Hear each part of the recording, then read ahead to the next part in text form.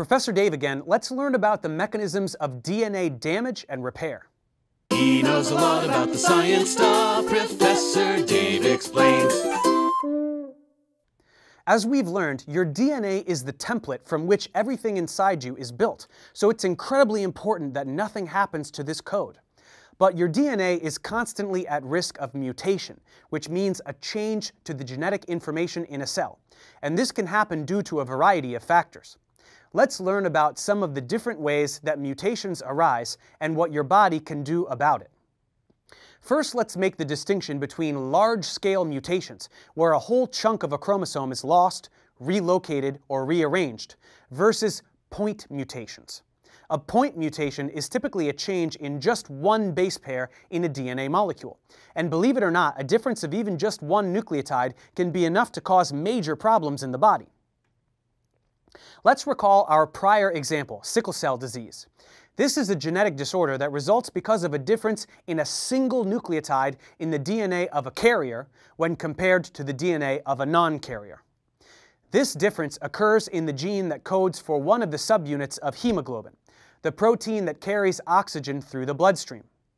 In this gene, there is an A where a T should be in the template strand of the gene, which will code for U instead of A in the corresponding mRNA. And then this altered codon will code for valine instead of glutamic acid.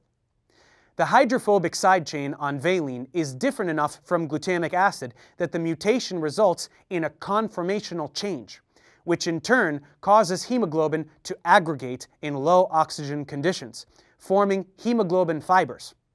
As a result, the red blood cells that carry hemoglobin will be distorted into a rigid sickle shape. These can clog small blood vessels, which is a serious condition. So we can clearly see that even one point mutation can be disastrous for an organism. When there is a point mutation, one possibility is that a nucleotide pair substitution occurs. The mutation that causes sickle cell disease is an example of this, where one base pair is replaced with a different base pair. If this occurs outside of a gene, it is unlikely to have any effect because these portions of the chromosome do not code for anything. But if this happens within a gene, it can have a few different results. If the resulting change in the template strand results in a new mRNA codon that translates for the same amino acid as before, which is possible since multiple codons can sometimes code for the same amino acid, this is called a silent mutation. In this case, even though there was a change in the gene, the resulting protein will not be any different. If the change in the mRNA codon translates for a new, different amino acid, that is called a missense mutation, which is the most common point mutation. This often won't make a big difference either, as many of the amino acids have similar side chains, and changing just one amino acid may have very little impact on the overall shape and behavior of the protein. But we saw with sickle cell disease that once in a while, a missense mutation might make a big difference. Among other reasons, this can be true if the amino acid that changed was a key residue in supplying the catalytic activity of an enzyme. The active site might change shape due to new repulsive interactions, rendering it unable to bind its substrate. Or maybe the side chain on this residue was specifically needed to do chemistry on the substrate, which now can't happen in its absence. And if that enzyme can't do what it normally does, it could be a big problem for the cell. So missense mutations, while often benign, have the potential to be extremely harmful. Lastly, it is possible that a substitution of this nature could cause the corresponding mRNA codon to no longer code for an amino acid, but to instead become a stop codon. We call this a nonsense mutation.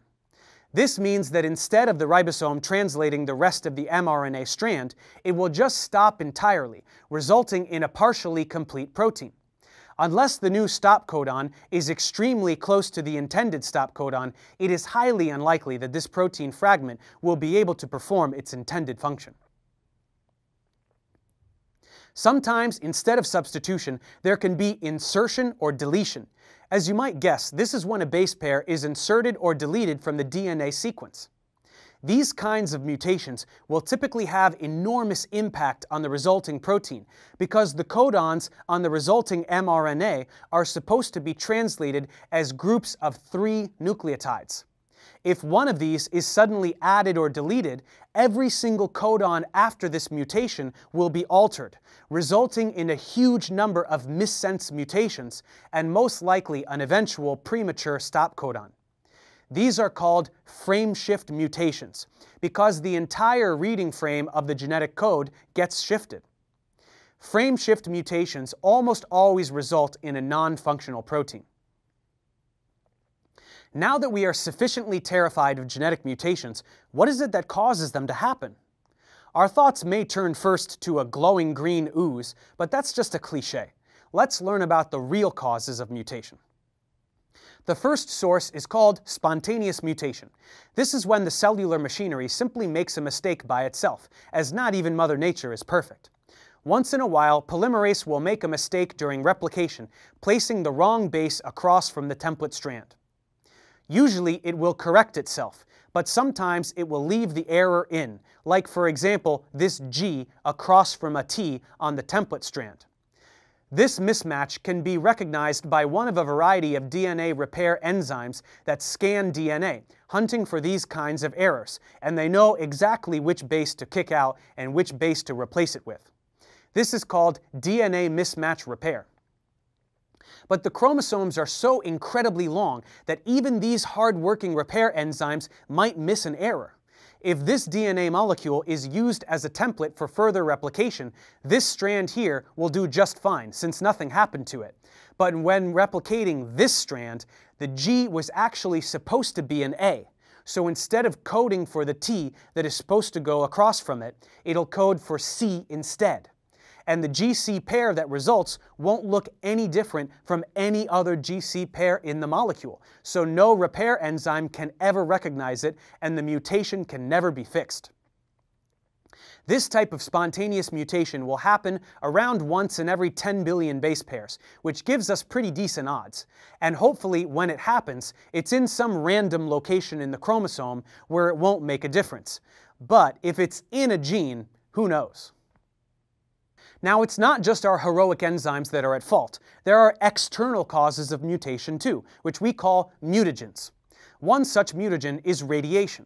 Photons of light from the ultraviolet portion of the electromagnetic spectrum are high-energy particles, and if they collide with DNA in specific locations, they can cause pyrimidine dimers. This is when two adjacent thymine or cytosine bases become covalently linked, which distorts DNA, making normal genetic activity impossible. Luckily, this distortion or lesion can be recognized by a repair enzyme that will initiate nucleotide excision repair. A nuclease enzyme can spot the problem and snip out a section of the DNA strand containing the lesion. Then, polymerase puts new bases in the gap, and ligase seals it up. Good as new. So this is why UV light from the sun can be harmful. It may cause mutations like pyrimidine dimers. X-rays and gamma rays can cause mutations too, since they are also comprised of high-energy photons. Other mutations involve modifications to a singular base. These are caused by chemical mutagens like certain oxidizing agents. For example, guanine can be oxidized to become 8-oxoguanine, or OXO-G, and because of the difference in orientation and functionality, OXO-G does not pair with C like a normal G does. It pairs with A instead. If this error is not fixed and the opposite strand is used as a template for replication, once again the polymerase will have no way of knowing that this A was supposed to be a C. So instead of the G that ought to go on the complementary strand, it'll put a T, and the mutation can no longer be fixed. Other such modifications arrive in the way of alkylating agents, which add things like methyl groups to existing bases, which will interfere with replication and transcription. These types of mutations do not cause kinks in the DNA strand like thymine dimers do, so they are not recognized in the same way that nuclease enzymes operate. These are instead recognized by glycosylase enzymes that will initiate base excision repair. This is different from nucleotide excision repair in that the enzyme specifically recognizes the mutant base, flips that nucleotide out of the helix, and removes the base by snipping the glycosidic bond, which is why the enzyme is called a glycosylase. Then polymerase and ligase do their jobs to put things back together. There is a different glycosylase for each kind of mutation of this variety, and they are all constantly scanning DNA for errors. So these are a few examples of the kinds of damage that can occur in DNA.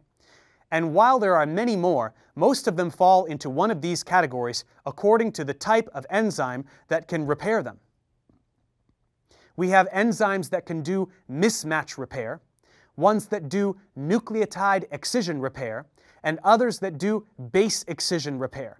And there are over 100 different types of DNA repair enzymes in every cell in your body, keeping constant vigil over the sacred genetic code. Even still, let's give them a break once in a while. Make sure you wear your sunscreen when you go to the beach. Thanks for watching, guys. Subscribe to my channel for more tutorials, and as always, feel free to email me, ProfessorDaveExplains at gmail.com.